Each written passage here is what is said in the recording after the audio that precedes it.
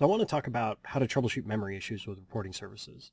This has come up a few times. Uh, there's been some questions around how does memory work in reporting services. And we had a case uh, just the other day where they were actually running out of memory and we had to go figure out what that was. In the customer's case, it was a configuration issue. Uh, but I want to talk about some of the things you can do to identify and uh, what diagnostics are available and uh, just the approach you can take to try and narrow this down if it wasn't a configuration issue. Um, so let's go ahead and take a look at what we can do here. We go ahead and start up our reporting services service. And while that's coming up, before we get into the meat of this, there is a great uh, document on MSDN which talks about how to configure memory for reporting services. And it talks about the different pressure states and what happens when. Um, we've got a low, medium, and high pressure state. Um, and the way those work are based off of whatever configuration settings that you have uh, within uh, the reporting services configuration file. We can have the there there are a couple different settings we can play with. Uh, one is uh, memory threshold, the other one is memory safety margin, and then we've also got working set minimum and working set maximum. Um, so working set minimum and working set maximum are not configured by default. They're not even in the rs report. If you go to the documentation for the rs report you won't see those listed there. Um, they're only mentioned in this article that I have up right now. Um, the memory threshold and memory safety margin, those are configured by default. Um, so we've got one is 80%, one is 90%, and that 80 to 90% is based off of what reporting services sees as its total available memory for that process. That's not total physical memory on the box, it's whatever we set either by derived memory off of physical memory or uh, whatever was configured with working set maximum. And then the the memory safety margin and memory threshold, you can see in this little uh, graphic here that talks about when the memory or when the high, medium, and low memory pressure notifications will occur uh, between which setting itself.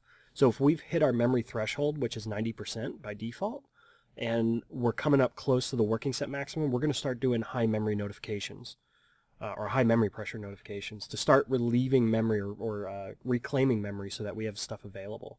Um, if we're between the memory safety margin, which is 80%, and then memory threshold, which is 90%, um, we're going to see medium memory pressure.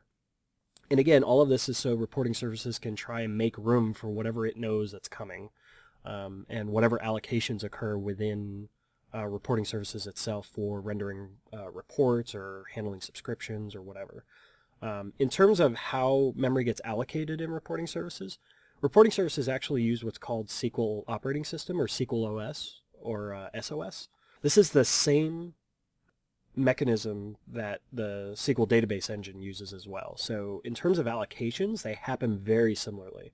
If you know how that works in uh, in uh, SQL Engine, uh, you'll be kind of familiar with how that works in reporting services. The difference being is that we don't have a bunch of DMVs we can go look at uh, within uh, reporting services to go see what's happening. All we've got really is the trace log and then maybe performance monitor. Okay, so let's go ahead and try and reproduce the, the customer's issue that they had. So what I've done is I pulled up uh, Report Manager and I've opened that up in three different tabs in the browser. Um, in here I've got a report that I created that will just soak up memory uh, with the amount of data that's coming back. Um, and so we'll go ahead and spin these off. Before we do, uh, let me talk, I've got some perfmon counters that are set up. In here, uh, I've grabbed a bunch from the process object. Um, private bytes is the main one I want to focus on because that's really where you're going to see this start jumping. Um, I also grabbed in some report server service items, uh, memory pressure state, shrink amount, and shrink notifications per second. Unfortunately, those remain at zero the whole time, so they're not actually pulling data, which is unfortunate. Um, so I will have to follow up on that and figure out why those aren't working. Um, so let's go ahead and turn this on. And we will see that our private bytes right now, which is the total memory for our process, we're sitting at about 315 meg right out the bat. Um, so that's just report manager loaded up. Um, there's no reports running, there's no subscriptions running, there's no nothing. Um, so we're just sitting at about 315 or uh, close to 320 meg right now of memory. So let's go ahead and spin off our reports. So we're going to crank three of them up. One, two, three. If we go back to perfmon, we should see this thing jump up very quickly. All right, so we're already over a gig. This thing's going to crash. The minute we know it crashed from perfmon perspective is it'll stop yeah, there it went. so there's no more data anymore, which means the, the process actually crashed on us. Um, it will restart on its own. Um, let's go ahead and we'll pause that. the other thing we'll see is that from the report manager perspective, we'll see a, a, page request manager server error exception, basically saying we don't know what happened, something bad happened. And what happened was is that the service itself just dropped out from under us. So awesome. We just reproduced an out of memory issue. So let's go ahead and look at the report uh, reporting services service log. Uh, by default, this is going to be in uh, wherever your instance folder is under reporting services and log files. Um, mine's on my D drive. Um, by default, that will be on your C drive unless you change that. We can just pull this up in Notepad. A couple things we're going to no notice right off the bat. Uh, it's going to show derived memory configuration based on physical memory. So this is what RS thinks in the beginning what our total maximum memory should be. Uh, the other thing you'll see here is a bunch of initial. Uh, the other thing you'll see here is a bunch of initializing items. Uh, these are actually the settings that are within the rs report server.config file. And uh, these include everything that's uh, being uh, configured there. So let's keep going. What else do we see that's interesting here? All right, so we see total physical memory at this point. Um, that's showing that I've got roughly around 32 gig of memory on the box, which is true. I have 32 gig of memory on my machine. Um, what else are we going to see here? Okay, so after that, we're just going into the report manager uh, items that are loading back and forth. And come down. Uh, we can see our render for new session for the for the three reports that we kicked off. And then and then we uh, see uh, an item here that basically at the end it just says fail page allocation 6. The, the 6 on the end, that number can be different. I've seen it as 1, I've seen it as 2. It, basically it just means that we failed to allocate a, allocate a page. Um, and within SQL OS, um, it does all of the page allocations for us. So it tried to do a page allocation and it couldn't. Um, there's not a whole lot else to go uh, go with in this log file here. Sometimes you will see some warnings uh, right before the uh, fail page allocation. Um, I've had that before where you'll see like a uh, like a warning that a memory pressure trigger had, had occurred. Um, in this case, we don't because it happened so rapidly, it, it couldn't figure that out. Um, so the first thing I want to talk about in terms of how do we troubleshoot this is one, uh, we can enable verbose logging for uh, the application domain manager, which is where those shrink notifications are going to come from. Um, instead of enabling verbose for everything, we can just do it on that category just to get insight. So to do that, we need to go to our reporting services service.exe. And uh, in there, we can see that uh, we need to increase default trace switch to 4, which tells us to log verbose. And then under components, um, we're basically saying for everything, we're going to do uh, info and above. And for app domain manager specifically, we want to do verbose, which is 4. So let's go and save that. Okay, and we're going to bring up a couple of those. Alright, let me try with just two this time and see what we get. And let's reset our perfmon counter so we can see that again. And we'll go ahead and start.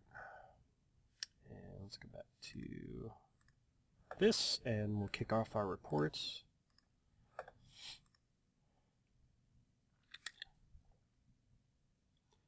There it's climbing. And we're over a gig. Yeah, we're probably going to crash here. Alright, there, we just crashed. So save it. So that, that, time we just crashed with two of them instead of three, so this thing takes a lot. Uh, let's close this the old log. Let's open up the new one. Uh, should be this guy. Okay, uh, so we see a bunch of the same stuff. Um, scroll down and see if we see anything different here.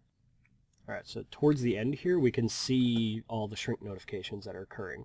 Um, so we can see up at the top here, like receive uh, notified memory pressure. Pressure level was medium. Um, and as that we get closer to the bottom, we should see some high pressure, and we do. So they're they're kind of towards the bottom before we started dying. So it's saying, look, you've got to get rid of memory because I can't, I don't have enough to work with. And then we got fail page allocation one, which means we crashed. Um, so this can kind of tell you like what led up to it. Uh, the thing I would look at first. So let let's talk about how do we resolve this.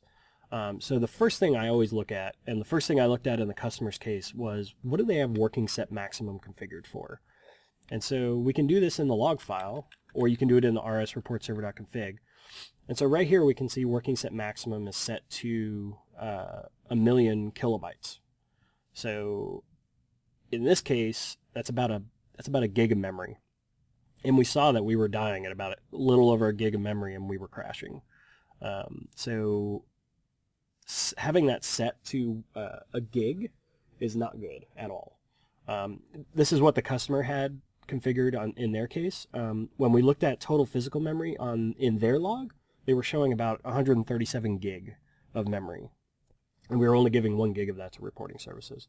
So what I think happened, um, we haven't confirmed it yet, but what, what I think happened was uh, there was an assumption that that value was in megabytes, not kilobytes. And so they thought they were telling reporting services that you had 100 gig to work with, not 1 gig.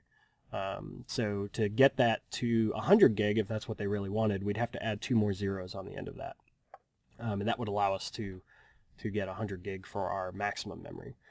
Um, so that's the first thing I would look at. In this case, it was pretty straightforward because I had that set so low that that's what was causing the problem. So what about if working set maximum is not even configured, if we're just going with the derived memory based on total physical memory and we've got a bunch of memory available? Um, the next thing I would look at is if we go back in the logs, um, we can start seeing, uh, I, I start looking for like the render for new sessions. What report was run before we started seeing the pressure notifications. Um, that's usually the first thing I'll look at. Um, it could be that it's one report soaking up a lot of memory, or it could be a bunch of little reports that are just hitting at the same time and are contributing to it. So we need to look at that. Um, the other thing is whether or not, um, so if we've narrowed it down to a specific report, what's that report doing? How much data is it pulling in? Is there any custom code in the report? Are we using any type of third-party uh, extensions within reporting services that could be, you know, kind of going wild on us?